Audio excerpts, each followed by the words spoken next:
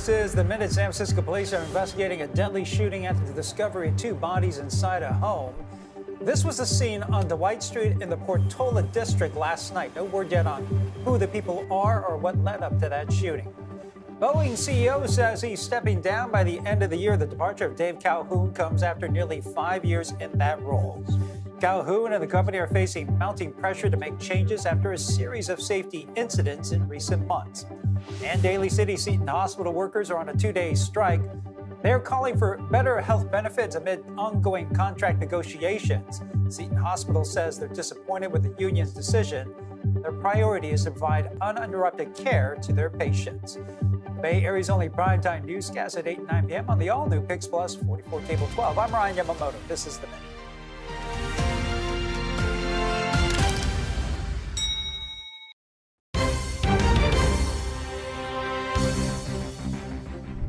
Okay, the next couple of days are pretty easy. We're waiting for the next system on Wednesday to come from a thousand miles out that way and bring us a chance of rain. We can see it here on the Futurecast. That system rolls in for the second half of Wednesday. This is the one we started timing out a little bit earlier in a previous visit, just to show you what this looks like. It's a few scattered showers through Wednesday afternoon and evening, maybe a quarter of an inch of rain. So not a super rainy scenario here. We're not worried about flooding or any major impacts from this one, but we got to put rain in the seven day forecast because of it. It's about a quarter of an inch of rain. The one that comes in after that on Friday has better ingredients. It's put together in a more impressive way, and it's going to mean better rain most likely on Friday.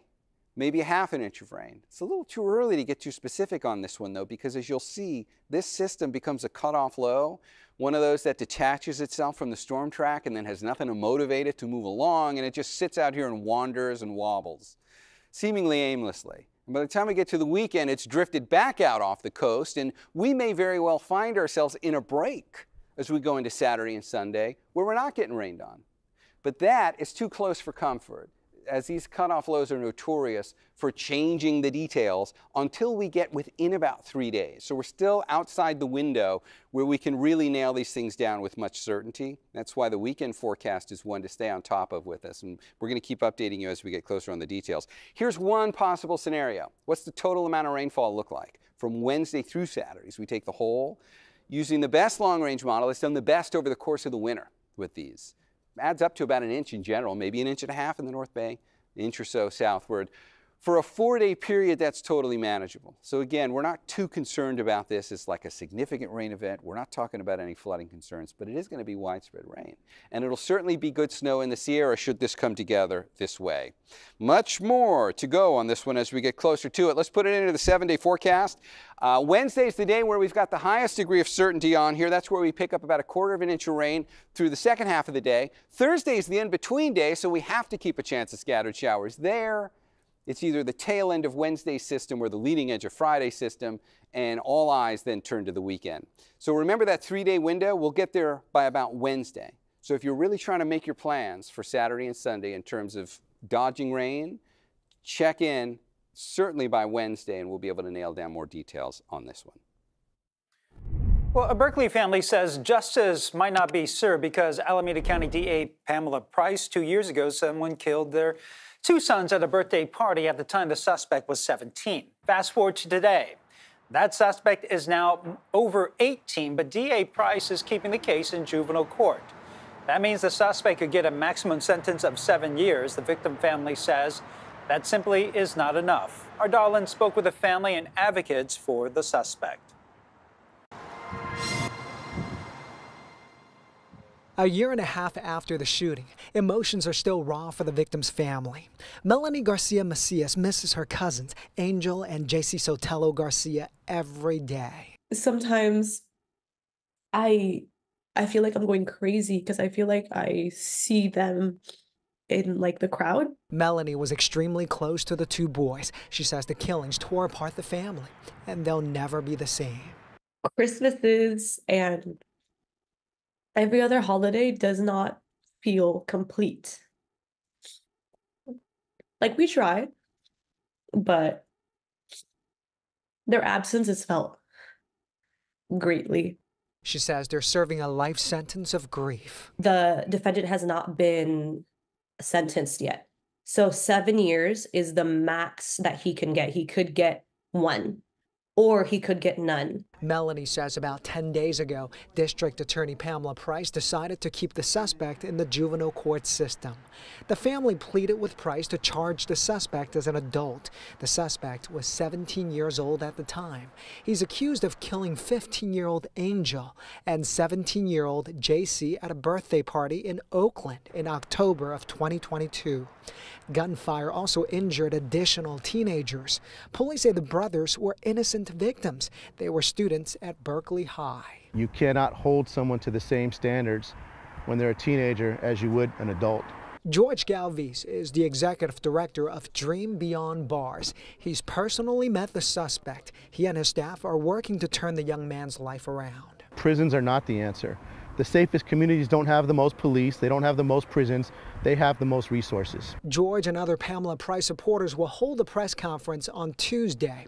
They want to show the public they support Price's decision in this case and other cases involving minors. A different DA would at least hear us out. As for Melanie, she's urging the public to contact and pressure Price to reverse her decision. There's nothing that anybody could do to bring back Angel and JC. They can help us heal, help us feel as though there has been justice and closure for our boys. And we asked Price's office for a comment. They told us they cannot discuss cases involving minors. In San Francisco, it's been more than a week since a driver crashed into a bus stop, killing a family of four. And over the weekend, another car crashed into another bus stop. It happened on Saturday at Fulton and Park Presidio in the Richmond.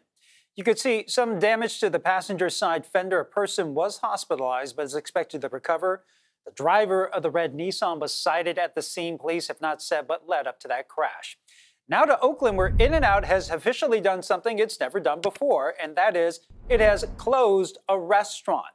The fast food chain announced the decision to close in January, saying there was just too much crime to ensure the safety of its customers and employees. Our Jose Martinez was there for the final day. you This Sunday marks the end of an era for In-N-Out Burger in Oakland. And it's just really sad at the fact that, you know, big corporation like this has to shut down. Alina June is just one of many employees saying goodbye to this In-N-Out location where she has worked since 2012. This is the chain's first ever permanent closure, and it comes amidst of rising concerns over crime in the area. It's just bitter. It's a real bitter moment. There's a lot of employees that gathered here today, you know, because being that Oakland is a high uh, place of crime, it has increased extremely over the years. Other businesses in the area, including a Subway and a dentist, have also shuttered their doors over similar safety concerns. If you're wondering about the future of the employees, Alina tells me they were all given the chance to be transferred to other locations. She declined since she's been working from home for another company, but says she's concerned about the future of the city because this is the main spot after games, after, but then again, that goes back to Oakland losing everybody up, you know, Raiders, the A's, like it's just it's just sad to see a lot of things shut down in the town. And that's why many customers lined up throughout the day to get a last bite, at least here, and to show support to those employees. Take a look at the drive-through. Dozens of cars ordering the iconic double double or the 4x4 like Maria Preciado, who's been living in Oakland for over 10 years and usually comes here with her kids.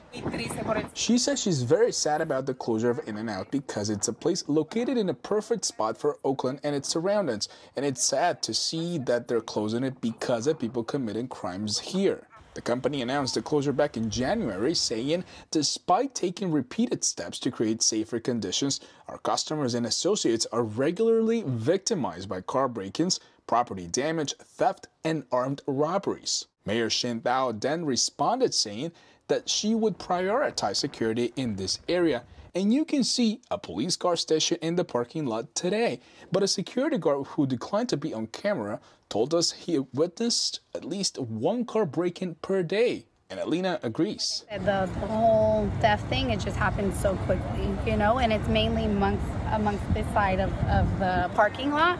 And then they target mainly people who come and travel with rental cars.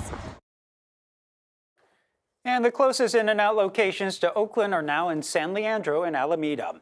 As one business, though, leaves Oakland, another one pops up. Still ahead on CBS News Bay Area, we're going to meet the young entrepreneurs who are standing up for their hometown and focusing on the good in the town. Plus, definitely taking two math courses wasn't probably the way I wanted to do it. Algebra is returning to San Francisco schools, what it means to the eyes of students. And a drug, help, a drug to help treat Alzheimer's was given the red light by the FDA. Why the agency is saying the drug is not ready, not just yet. I pick my brackets strategically based on statistics. And then I divide everything by the multiple of 68. Picking a winner is so random. You need a little luck. Hey, there has to be some random element. It's like blindly throwing darts. UConn. I just love how unpredictable it is every year. mm. Yes. Oh, no, not Vern. Oh, sorry about that. Oh. The tournament is on. Everyone okay? Play along with us tomorrow on the morning edition.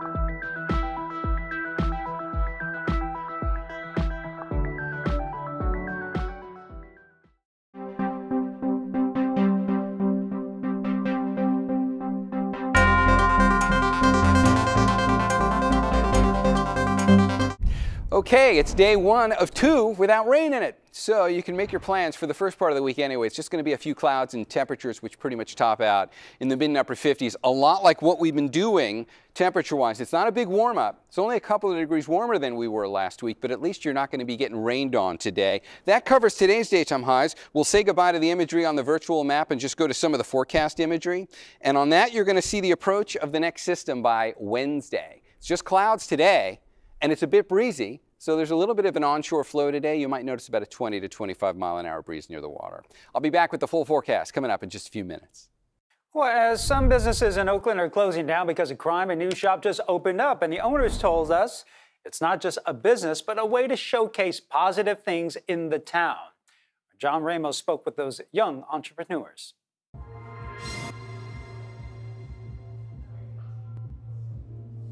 Watch as people pass by the newest store on Lakeshore Avenue. They do a double take and then turn back. What exactly is that? It looks like a store, but it could be an art gallery. It's Marche, a vintage clothing store created by 20 year old Ty Reno Sway and Marco Verdine, who's 24. Bringing a different type of retail, a, new experience in, with brick and mortar and physical retail, that's like the goal. Used clothing is a popular trend among millennials, but the trick is finding just the right pieces.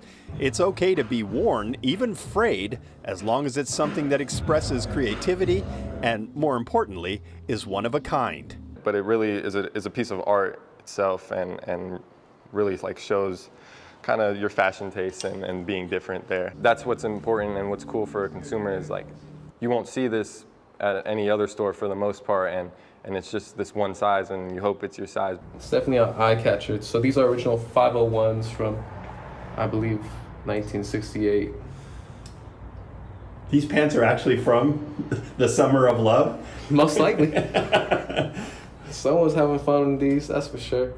But as much as the business partners are peddling clothing, they're also trying to market their city as well. Both grew up in Oakland and are well aware of the crime that has driven so many businesses away.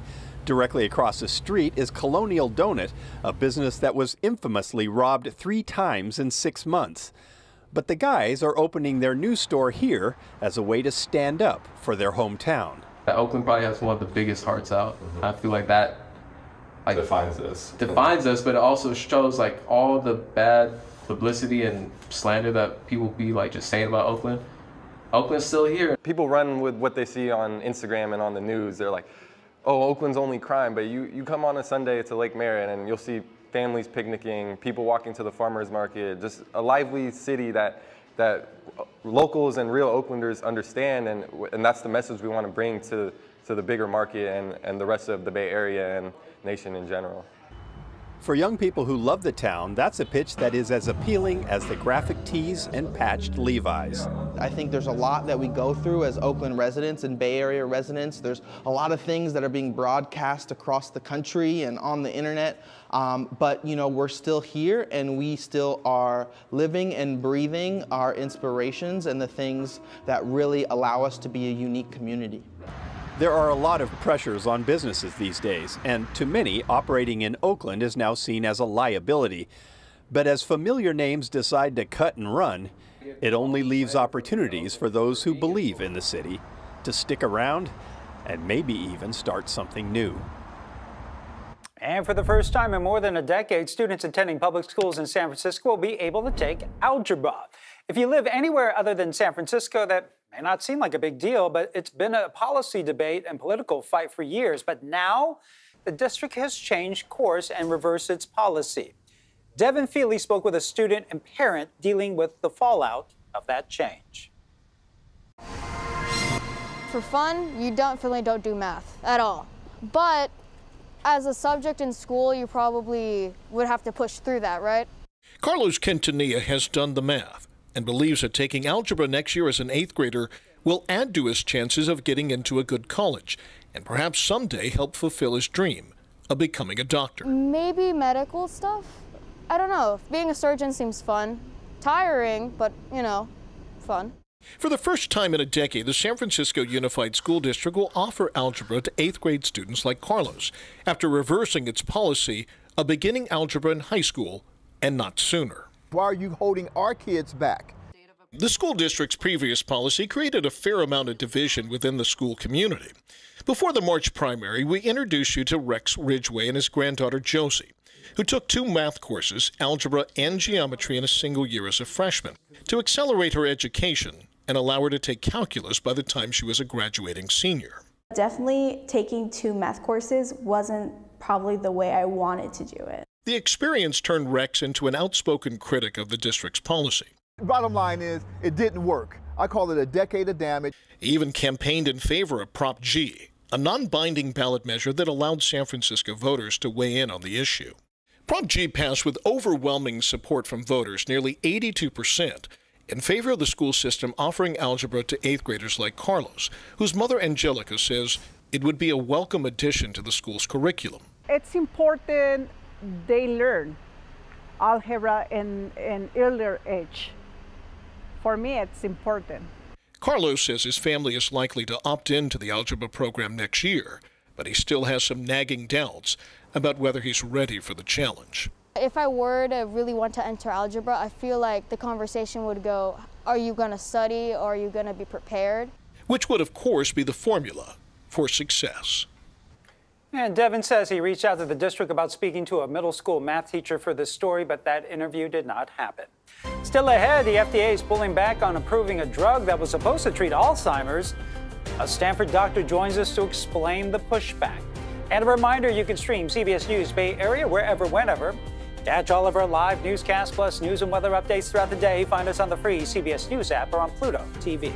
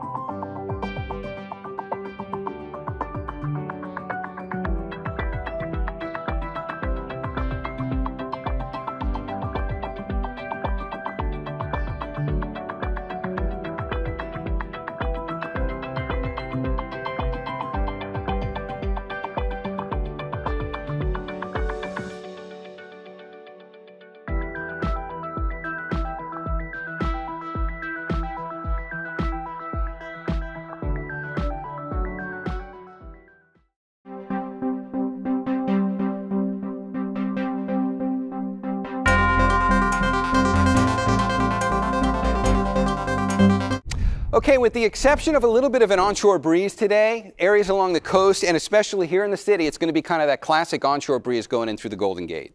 So it's like a 20 to 25 mile an hour breeze there through the afternoon, and those daytime highs in the mid and upper 50s might feel a little cooler there as a result of that. But if you're not near the water, you don't notice that at all today, really. It's going to be less wind and generally a much nicer day. Monday and Tuesday are just like that. And then on Wednesday, this next system gets here. So when we get back together in the complete first alert forecast, we're going to go into a lot more detail, not just on the Wednesday rain, because that's the easier one. And that's the one that we've got a lot more certainty on. We're going to get about a quarter of an inch of rain Wednesday, second half of the day. So these are not downpours. It's just more beneficial rain than anything else. It's the system after this that requires a little more analysis. That one for Friday through the weekend has some more question marks on it. And since it is a weekend, we that's, that's a little bit more important. So it's a cutoff low. You're probably used to dealing with these a lot. We've had many of them over the course of the winter. We'll go into a lot more on that. Coming up in the full forecast again in just a few minutes. Well, the FDA is delaying on uh, the approval for the latest drug that treats the early stages of Alzheimer's disease, at least for now. Join me now to tell us why is Dr. Michael Greicius, professor of neurology and neurological sciences at Stanford Medicine. So, doctor, can you first tell us how is this drug supposed to work?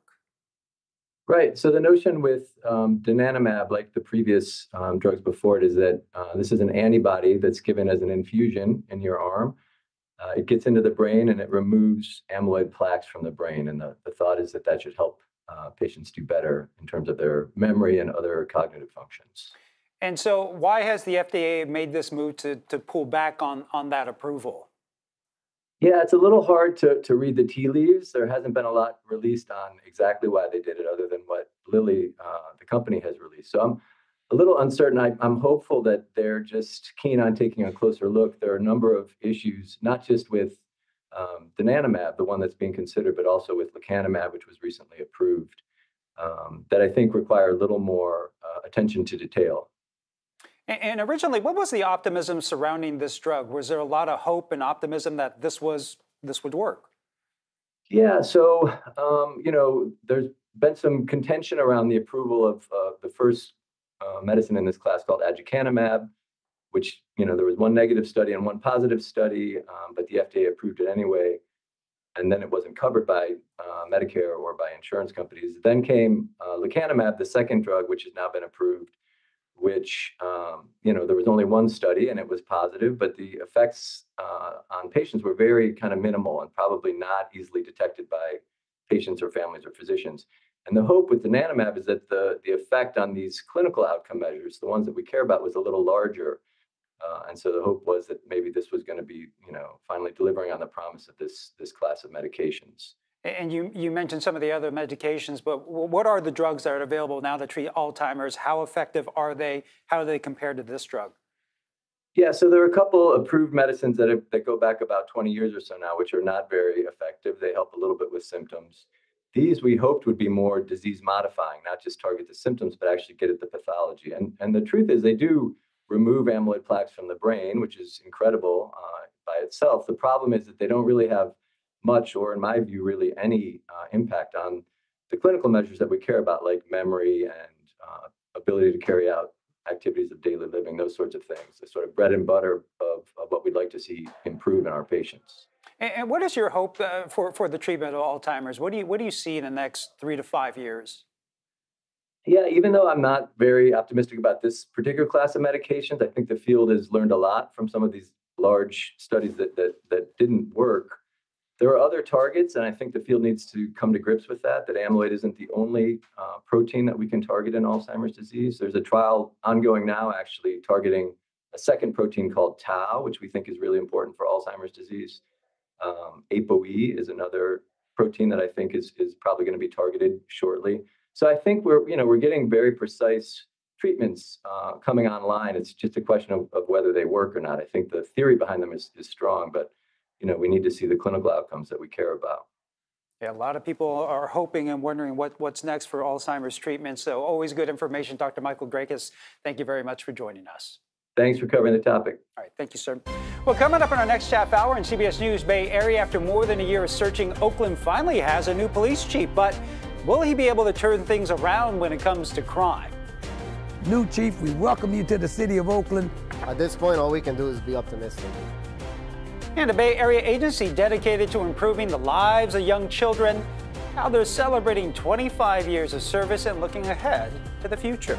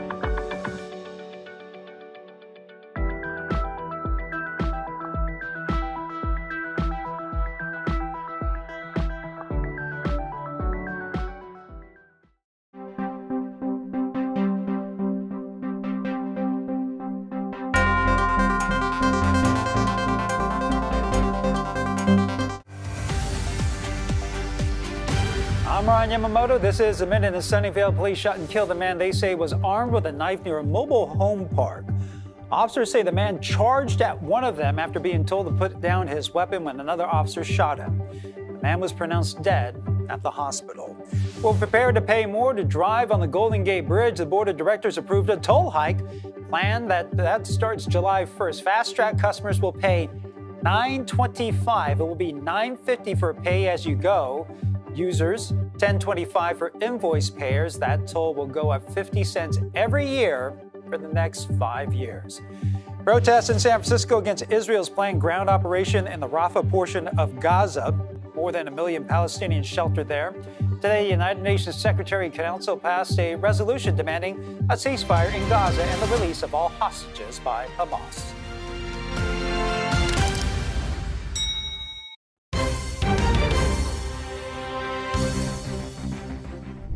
Okay, the next couple of days are pretty easy. We're waiting for the next system on Wednesday to come from a thousand miles out that way and bring us a chance of rain. We can see it here on the Futurecast. That system rolls in for the second half of Wednesday. This is the one we started timing out a little bit earlier in a previous visit, just to show you what this looks like. It's a few scattered showers through Wednesday afternoon and evening, maybe a quarter of an inch of rain. So not a super rainy scenario here. We're not worried about flooding or any major impacts from this one, but we got to put rain in the seven day forecast because of it. It's about a quarter of an inch of rain. The one that comes in after that on Friday has better ingredients. It's put together in a more impressive way, and it's going to mean better rain most likely on Friday. Maybe half an inch of rain. It's a little too early to get too specific on this one though, because as you'll see, this system becomes a cutoff low one of those that detaches itself from the storm track and then has nothing to motivate it to move along, and it just sits out here and wanders and wobbles, seemingly aimlessly. And by the time we get to the weekend, it's drifted back out off the coast, and we may very well find ourselves in a break as we go into Saturday and Sunday where we're not getting rained on. But that is too close for comfort as these cutoff lows are notorious for changing the details until we get within about three days. So we're still outside the window where we can really nail these things down with much certainty. That's why the weekend forecast is one to stay on top of with us. And we're going to keep updating you as we get closer on the details. Here's one possible scenario. What's the total amount of rainfall look like from Wednesday through Saturday? So we take the whole. Using the best long range model, it's done the best over the course of the winter with these adds up to about an inch in general, maybe an inch and a half in the North Bay, an inch or so southward. For a four-day period, that's totally manageable. So again, we're not too concerned about this It's like a significant rain event. We're not talking about any flooding concerns, but it is going to be widespread rain. And it'll certainly be good snow in the Sierra should this come together this way. Much more to go on this one as we get closer to it. Let's put it into the seven-day forecast. Uh, Wednesday is the day where we've got the highest degree of certainty on here. That's where we pick up about a quarter of an inch of rain through the second half of the day. Thursday is the in-between day, so we have to keep a chance of scattered showers there. It's either the tail end of Wednesday's system or the leading edge of Friday's system, and all eyes then turn to the weekend. So remember that three-day window? We'll get there by about Wednesday. So if you're really trying to make your plans for Saturday and Sunday in terms of dodging rain, check in certainly by Wednesday, and we'll be able to nail down more details on this one. Well, the city of Oakland is getting a permanent police chief for the first time in more than a year. Floyd Mitchell will be tasked with leading OPD. He comes from the Bay Area from Lubbock, Texas, where he was the chief for four years. Mayor Sheng Thao revealed their pick in a video statement that happened on Friday. Chief Mitchell is a strong leader and smart crime fighter who delivers results. Our Da Lin as reaction to the announcement that ends a contentious battle over that position. The mayor says Chief Floyd Mitchell will start in late April, early May. A lot of people I talk to support him, but they say he'll face a lot of challenges. The owner and chef of Snail Bar just wants to focus on making great food. But lately, Andres Gerardo Flores has had to hold safety meetings with staff. It is very frustrating because we're kind of living in this lawless city. He says last week, two men held up a worker. One robber put the worker in a chokehold and threatened him with a knife. Andres says when the robbers couldn't find any money in the restaurant, they took the worker's wallet, phone, and backpack. Andres says back in January, two thieves broke in and cost him thousands of dollars. The city even billed Andres for boarding up the front door. It is a crisis, and you know we are all suffering from it, and it, it trickles down like a domino effect. Mayor Sheng Thao believes Chief Mitchell will come up with strategies to reduce crime and lead the department out of federal oversight. Chief Floyd Mitchell, he's a strong leader and he's very smart on crime fighting. Um, but most importantly, he can deliver results. Chief Mitchell worked at the Kansas City Police Department for about 25 years and more recently served as a chief in Lubbock and Temple, Texas. When he was actually in Temple and Lubbock as uh, the chiefs in both of those cities, we saw that under his leadership, that overall crime did decrease and police response times did improve. Pamela Drake has been following Oakland politics for four decades. She hopes the new chief can focus more more on community policing and crime prevention. I am glad this time it's an outsider. Previously, I would have said, like most people, let's pick somebody homegrown. But it sort of showed that it's really tough to be a chief of people that you were comrades with for so long. New chief, we welcome you to the city of Oakland. While Bishop Bob Jackson of Acts Full Gospel Church was hoping for an internal hire, he welcomes and is ready to support the new chief. Not knowing the city, not knowing the culture, not knowing the community, not knowing the politicians either. I mean, this guy is really in for a big shock and a big surprise. Supporters like Andre say they hope this is a turning point for Oakland. At this point, all we can do is be optimistic. And Mitchell will meet with the press sometime this week to answer questions. He says he will spend his first days meeting with community members before releasing some crime fighting strategies. The Oakland Police Officers Association had responded to the hiring, saying they are pleased the uncertainty of a chief has been resolved and they look forward to working with Chief Mitchell. Former Police Chief LeRonne Armstrong, who was fighting to get his job back, said he wants everyone in the city to feel safe and he'll do everything in his power as a private citizen to assist in that. We have more reaction to the appointment of the new chief of Police for Oakland on KPIX.com. And the San Jose Police Department has also been on the hunt for a new top cop. In the meantime, they have a placeholder. The city has elevated Assistant Chief Paul Joseph to interim chief. He will take over the department when Chief Anthony Mata steps down at the end of this month. Well, one California agency focused on helping kids will celebrate a big anniversary this year. For 25 years, First Five California has worked to help some of the poorest children in the state. And as they mark this milestone, they are looking ahead to new ways to help. Kelsey Thord has that story.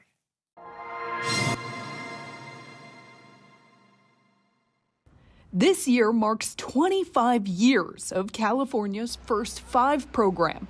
Executive Director Jackie Thu-Quynh Wong says over those 25 years, the program has helped millions of parents and young children. Absolutely, so excited that we're celebrating our 25th, uh, you know, 25th anniversary, 25 years holding strong, serving, uh, you know, the youngest, you know, California's youngest residents, if you will.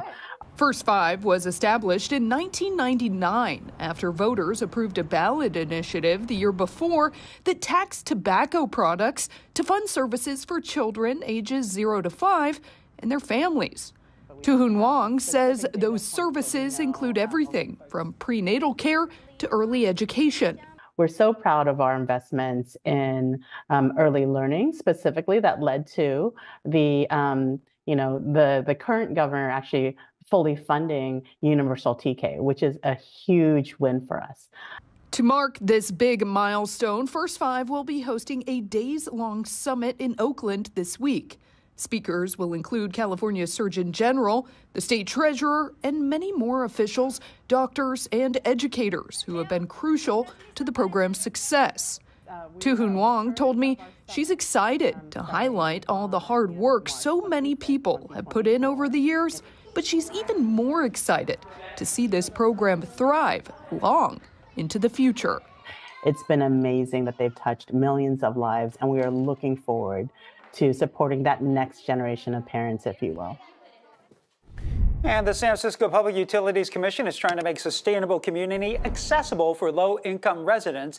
The agency is offering a $1,000 coupon toward the purchase of an electric bicycle. Our Amanda Hari has the details. Okay. I don't ride inside if you don't mind. A new push to electrify transportation in a clean, renewable way and make it more accessible. When I got divorced, she got the car. 79 year old San Franciscan Graham Smithwick rides his e bike every day. He made the switch two years ago. It's certainly economical and worth worth the learning curve. Smithwick says it was an opportunity to see if he can live without a car. And the San Francisco Public Utilities Commission is making it more affordable with their Electrify My Ride program. It offers a $1,000 rebate to eligible customers towards the purchase of an e bike. It's based on customers' enrollment in their low income discount programs through Clean Power SF and Hetch Hetchy Power, in addition to the customer's utility address in an equity priority community. Smithwick says an e bike makes individual eco friendly transportation available to many more people. It's a beautiful idea because anybody can uh, who can ride a bike, no matter how old, no matter how young. Uh, this is the way to go because you don't have to work unless you want to, and you work as much as you want to. The PUC has partnered with six local bike stores for the rebate program, including the Bike Connection. Manager Nick Rawcliffe says they've had a rush of business because of the program. He says making personal transportation more affordable is changing lives. That could be the way they get to work. That could be how they get to the doctor's office or how they take their kids to school. Rawcliffe says the store is even doing what they can to bring in bikes that will be within most people's price range. As low as $10.99 right now. He says the PUC approached the store about partnering and he didn't hesitate to join. This program has been one of the very few uh, examples I can think of where a business wins, consumers win, the government's facilitated it all, and the environment wins too. The PUC launched the program on February 5th. It runs through April 20th, but they may extend or relaunch it. They've had hundreds of people interested in it. Smithwick says he hopes more people take advantage. Enjoy. It's a beautiful spring day. There's nothing like enjoying transportation. And if you're looking to buy an e-bike, there are new rules to follow in San Francisco to reduce the risk of fire, such as limiting the number of vehicles charging to four at a time, keeping charging vehicles at least three feet away from each other, and don't use any damaged or reassembled batteries. Up next, a surprising claim from the South Bay for the best sports fans in the Bay Area. You can tell my voice is cracked right now. Um, it's just a really fun environment.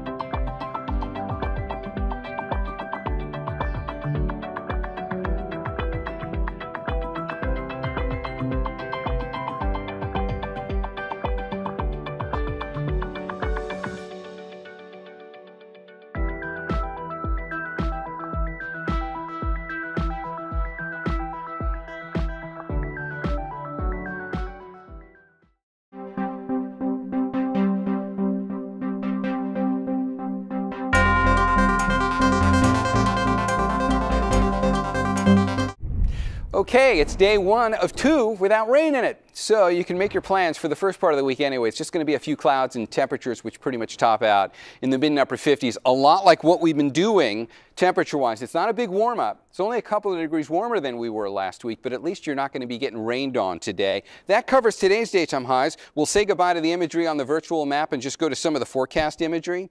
And on that, you're going to see the approach of the next system by Wednesday. It's just clouds today and it's a bit breezy. So there's a little bit of an onshore flow today. You might notice about a 20 to 25 mile an hour breeze near the water. I'll be back with the full forecast coming up in just a few minutes. Oh, March Madness continues, and students at Stanford campus are feeling great after the women's basketball stars moved on to the Sweet 16 in the NCAA tournament for the women. And you can thank Kiki for coming in strong last week. The Cardinals needed her to bring her A game this tournament, and she did not disappoint. Last night, Stanford and Iowa State battling out at Maples Pavilion in what people are already calling an overtime classic. Kiki finished the game with a career high 41 points. Stanford won 87 81 in overtime, and here's what Tara VanDerveer had to say after the game. Kiki Iriafen. Whoa. What a great game. Kiki, uh, I just, uh, my hats off to you, how hard you played. You're an absolute warrior. And I just, uh, I'm like, we have our own 40 point scorer. So um, that was an awesome, awesome um, performance. Yeah, I think I started the game off hot. And then in the second half, I kind of just remembered where we were at last year. It wasn't a great taste in our mouth. I feel like this whole season, we've had that loss last year in the back of our mind. So didn't want that to happen two years in a row. Well, next up for Stanford, the winner of NC State and Tennessee played today. And let's take a look at the March Madness Bracket Challenge right here in CBS News Bay Area. Max Darrow Sara Donchey tied for first with a score of 102. You can see the rest of our anchors are doing. I'm way, way, just keep going down, down the list. Uh, just head to our website, kpix.com. Look at Liz Cook, also in the hunt. Well, ever want to know what it feels like to be Steph Curry for a day? Well, these lucky kids got a chance over the weekend where Fans ages 7 to 15 got to play with the pros on Warriors ground. My daughter was very shy. She would be hiding somewhere far away. And to see her out there, like just doing like in between the legs, like dribbling, like I'm like, wow, she's just going for it. Throwing the ball up with like no fear and making new friends. It's, it's awesome. Kid's got some skills. So what's the Bay Area sports team with the most dedicated fans? You might say the Warriors, the Niners, or the A's, or even the Giants. But according to one online sports gaming website, it's the San Jose Earthquakes who beat out all but two other teams in professional sports. our Len Ramirez reports how they measured loyalty by how often teams fill their stadiums beyond capacity.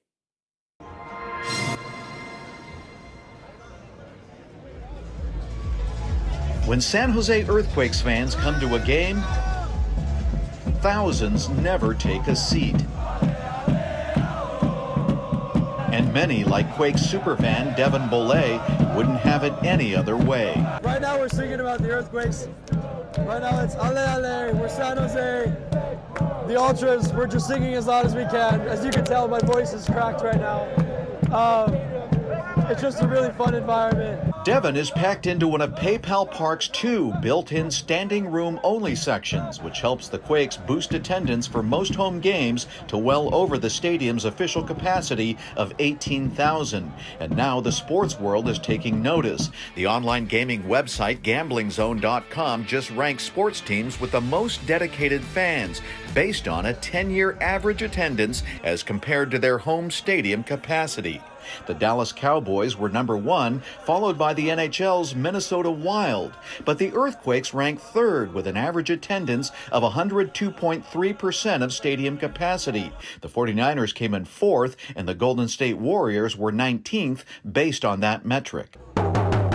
This is Crazy George, and yes, the San Jose Earthquakes are loyal. I want to. Crazy George was not surprised. He's been cheering on the team since their founding in 1974, and neither was the team's CEO. We have a really loyal, dedicated fan base that's been with us, like I said, for 50 years through many ups and downs, like different leagues, different teams, different team names, different logos, but they've always been there supporting us, fighting with us. Uh, through the good times and bad. To the man cave. Devin was practically born into being an Earthquakes fan. He has one of the largest collections of Quakes memorabilia, which fills his room. He's been following the team since his youth soccer days, and he also has his own souvenir from scoring 200 career goals in high school and hopes to one day be an Earthquakes Youth Academy coach. He also likes the Sharks and the 49ers, but the Earthquakes to him are just different. I always look forward to attending a San Jose Earthquakes game just because of the level of passion that surrounds me at a game.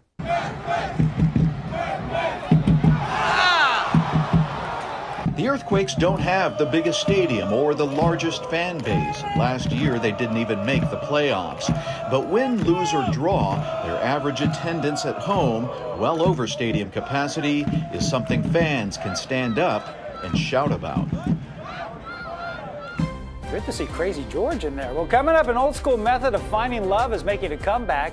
Why some Bay Area singles are switching from dating apps to speed dating.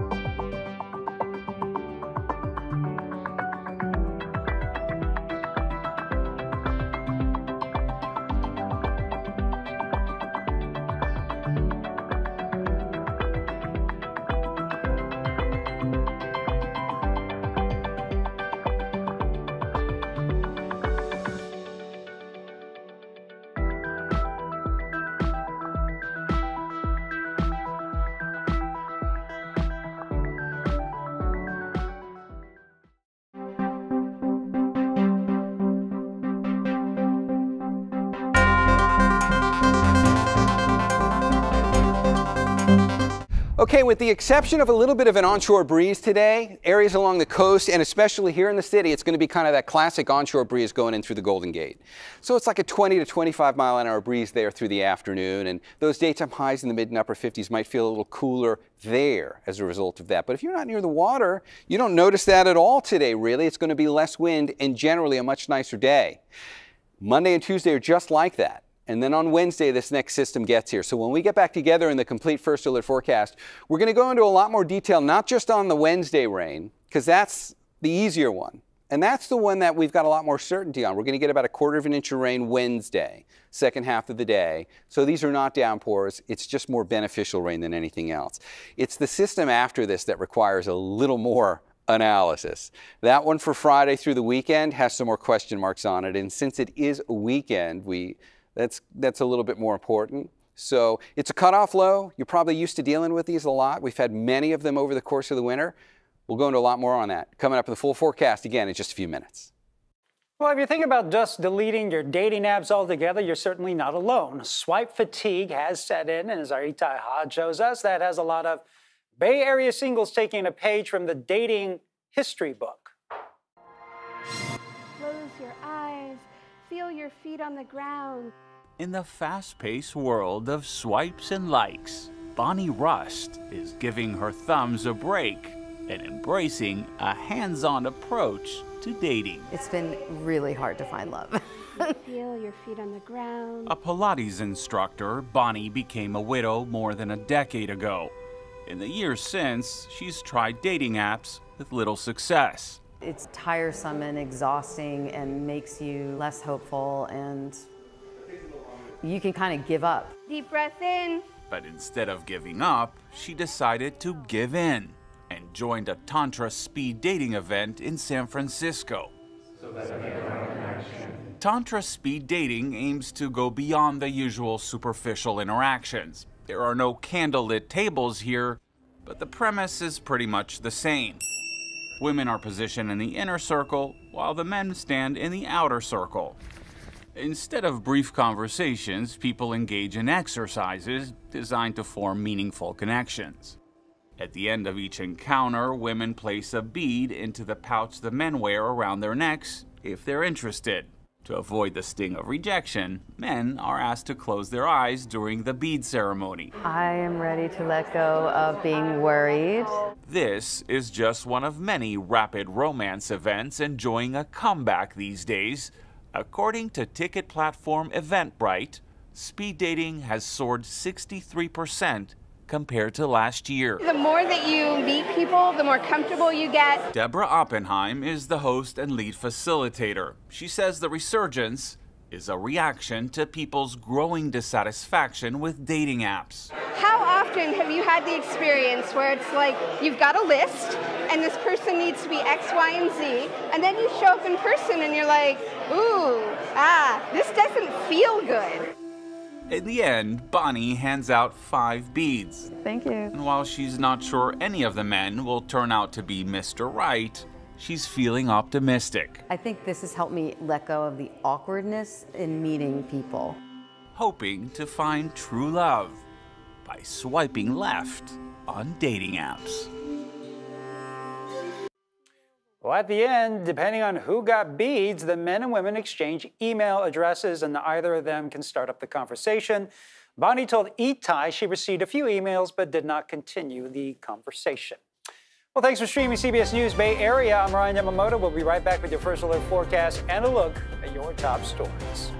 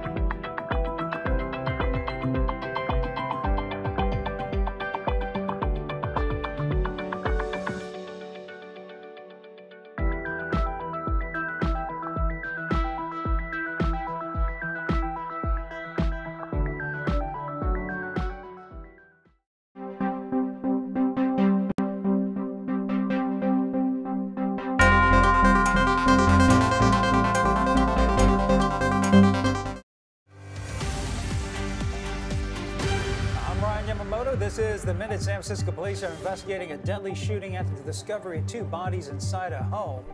This was a scene on Dwight Street in the Portola district last night. No word yet on who the people are or what led up to that shooting. Boeing CEO says he's stepping down by the end of the year. The departure of Dave Calhoun comes after nearly five years in that role. Calhoun and the company are facing mounting pressure to make changes after a series of safety incidents in recent months. And Daly City Seton Hospital workers are on a two day strike. They're calling for better health benefits amid ongoing contract negotiations. Seton Hospital says they're disappointed with the union's decision. Their priority is to provide uninterrupted care to their patients. Bay Area's only primetime newscast at 8 and 9 p.m. on the all new Pix Plus 44 Cable 12. I'm Ryan Yamamoto. This is The Minute.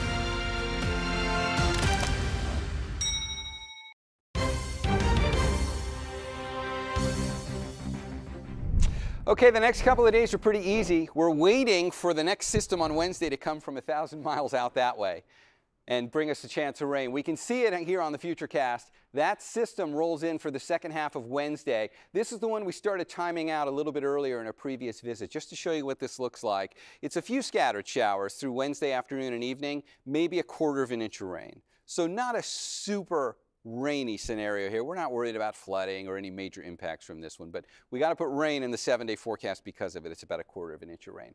The one that comes in after that on Friday has better ingredients. It's put together in a more impressive way, and it's going to mean better rain most likely on Friday. Maybe a half an inch of rain. It's a little too early to get too specific on this one, though, because as you'll see, this system becomes a cutoff low one of those that detaches itself from the storm track and then has nothing to motivate it to move along, and it just sits out here and wanders and wobbles, seemingly aimlessly. And by the time we get to the weekend, it's drifted back out off the coast, and we may very well find ourselves in a break as we go into Saturday and Sunday where we're not getting rained on. But that is too close for comfort as these cutoff lows are notorious for changing the details until we get within about three days. So we're still outside the window where we can really nail these things down with much certainty. That's why the weekend forecast is one to stay on top of with us. And we're going to keep updating you as we get closer on the details. Here's one possible scenario. What's the total amount of rainfall look like from Wednesday through Saturday? So we take the whole, using the best long range model, it's done the best over the course of the winter with these adds up to about an inch in general, maybe an inch and a half in the North Bay, an inch or so southward. For a four day period, that's totally manageable. So again, we're not too concerned about this It's like a significant rain event. We're not talking about any flooding concerns, but it is going to be widespread rain. And it'll certainly be good snow in the Sierra should this come together this way. Much more to go on this one as we get closer to it. Let's put it into the seven day forecast.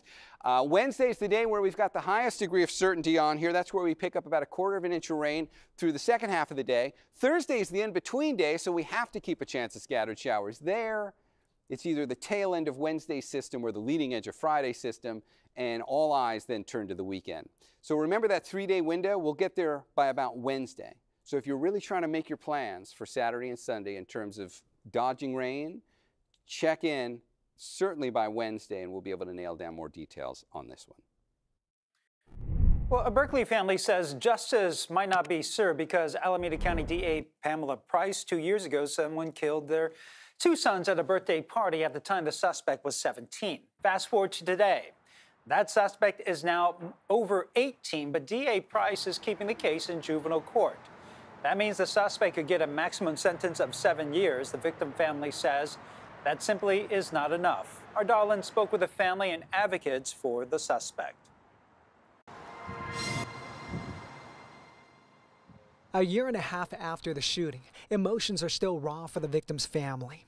Melanie Garcia Macias misses her cousins, Angel and JC Sotelo Garcia, every day. Sometimes I I feel like I'm going crazy because I feel like I see them in like the crowd. Melanie was extremely close to the two boys. She says the killings tore apart the family and they'll never be the same.